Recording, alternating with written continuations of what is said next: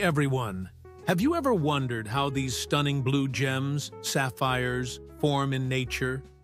Today, we're diving deep, literally, to uncover the fascinating story behind sapphires. So, let's get started. To understand how sapphires form, we first need to talk about where they come from, deep within the Earth's crust. Sapphires are a variety of a mineral called corundum, made primarily of aluminum and oxygen. In certain places, the Earth's natural heat and pressure come together perfectly, allowing aluminum and oxygen to bond and crystallize into corundum. But here's the twist. Pure corundum is actually colorless. So, what gives sapphires their vibrant colors? It's all thanks to tiny amounts of other elements like iron, titanium, and chromium.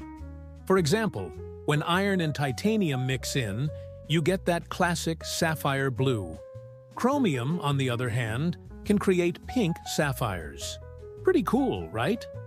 Most sapphires form in areas with volcanic activity, or where tectonic plates collide. The intense heat from magma melts rocks, creating mineral-rich liquids. When these liquids cool down, corundum crystals, and eventually sapphires, can grow within the surrounding rocks. But the story doesn't end there.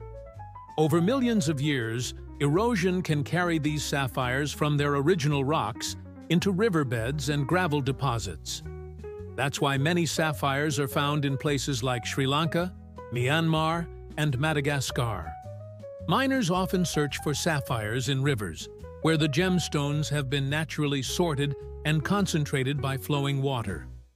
This process makes it a bit easier to find these hidden treasures. Once sapphires are found, they're usually rough and unpolished. Skilled gem cutters carefully shape and polish them to bring out their brilliance and color. That's how they go from this to this. Today, sapphires are loved for their beauty and durability. Did you know they're also one of the hardest minerals on Earth, second only to diamonds? That's why they're perfect for jewelry, especially engagement rings. So, the next time you see a sapphire, you'll know it's more than just a pretty stone. It's a natural wonder shaped by the Earth over millions of years. Thanks for watching, and if you found this interesting, don't forget to like, subscribe, and share. See you next time.